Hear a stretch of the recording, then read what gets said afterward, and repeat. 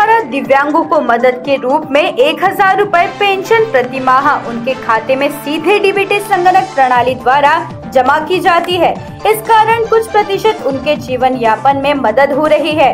फ़िलहाल, Covid 19 virus प्रकोप के कारण संपूर्ण भारत में लॉकडाउन किया गया है। ऐसे मुश्किल समय में दिव्यांग लोगों को प्रति माह पेंशन देना अधिक आवश्यक है।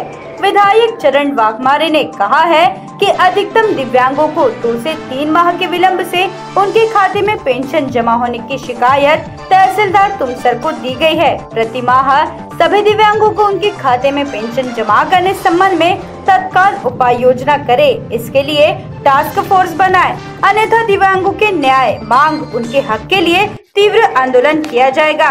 B S crime India news की रोज़ाना खबरों के लिए YouTube channel website Facebook Twitter Instagram पर लाइक कमेंट और शेयर करें। साथ ही यूट्यूब पे हमारे चैनल को सब्सक्राइब कर बेल आइकन दबाना ना भूलें और गूगल प्ले स्टोर से B S crime India news app को डाउनलोड कर रोज़ाना खबरों के लिए हमसे जुड़े रहें। Thank